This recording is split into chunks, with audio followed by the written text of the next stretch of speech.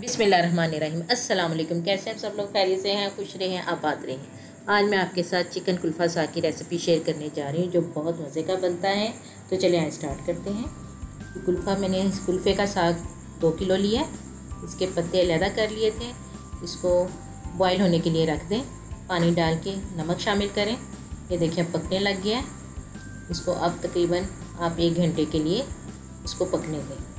जब ये गल जाए तो इसका पानी ड्रेन कर दें।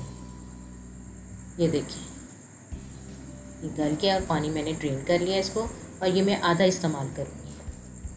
चिकन ले लें। मैंने देसी चिकन इस्तेमाल किया है इसके अंदर। उसके अंदर ये फ्रीज़ किया हुआ चिकन था। मैंने पानी शामिल किया है इसके अंदर। पानी इसमें आपने ज़्यादा डालना है ताकि चिकन अच्छे तरीके से गल जाए।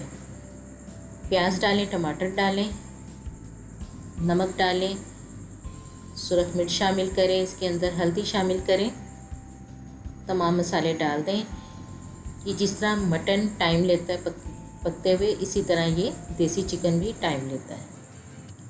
लहसुन के जवे डाल दें। और इसको पकने के लिए रख दें। पानी मैंने और शामिल किया है। लाइक करें शेयर करें सब्सक्राइब करना मत भूला करें। फीडबैक ज़रूर दिया करें। ताकि मुझे पता चलता रहे आपको मेरी रेसिपीज़ कैसी लगती हैं। ये देखिए, पानी खुश्क हो गया इसके अंदर।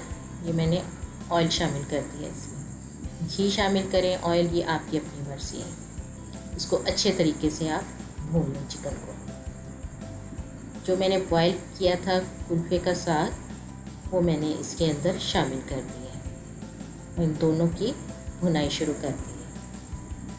बहुत टेस्टी बनता है। वीडियो को एंड तक देखा करें ताकि आपको पता चलता रहे कि कैसे चीज़ तैयार हुई है। इसके अंदर मक्खन भी शामिल करें। मैंने थोड़ा सा पानी डाला था ताकि ये दोनों चीज़ें एक जैसी हो जाए यकजा हो जाए।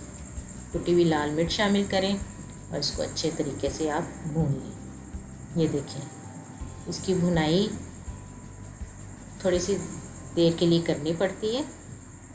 देखिए कितना खूबसूरत लग रहा है और ये खाने में भी उतना मज़ेदार है।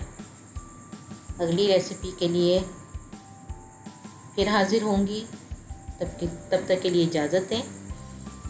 अल्लाह हाफिज़।